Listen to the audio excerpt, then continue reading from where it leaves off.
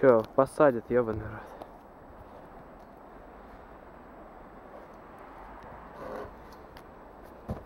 А, это жесть! А, Идиот! Я же на ветеранов